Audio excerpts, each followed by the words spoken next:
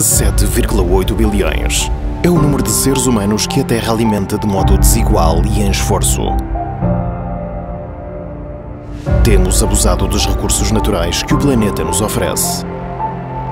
O sistema produtivo está a subverter as leis da natureza. A cadeia alimentar está descontrolada. Estamos a consumir mais do que o planeta consegue regenerar. O consumo rápido processado industrialmente invade as nossas vidas. O sistema entrou num processo de autodestruição. Da Terra brota o que há de mais puro, simples e genuíno. Podemos plantar tudo aquilo que nos sustenta e é sustentável, sem adulterar, respeitando e preservando os seus habitats.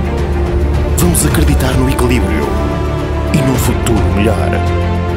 Numa geração mais sustentável, que vai perceber a importância de cultivar os seus próprios alimentos e qual o impacto das suas escolhas. Vamos acreditar que é possível trazer a cor, o sabor e a identidade às nossas mesas. Valorizar tudo o que é certificado e genuíno, destacando os produtos de qualidade num consumo moderado. Façamos um brinde à alimentação saudável. E a um novo modo de vida que reutilize e recicle. O segredo está na forma simples como mudamos o presente e na forma séria como encaramos o futuro.